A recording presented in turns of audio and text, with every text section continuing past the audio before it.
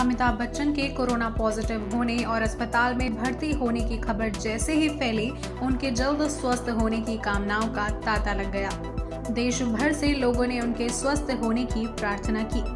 बॉलीवुड के महानायक अमिताभ बच्चन के कोरोना वायरस पॉजिटिव आने के बाद से ही फैंस उनके लिए दुआएँ कर रहे हैं। देश के कई हिस्सों में अमिताभ के बेहतर स्वास्थ्य के लिए पूजा अर्चना की जा रही है।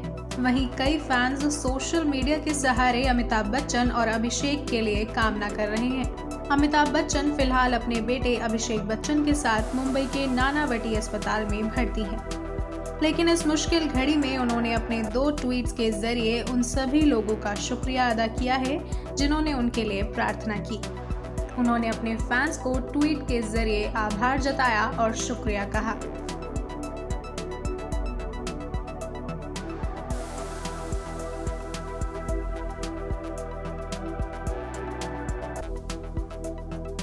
Thank you for watching our video.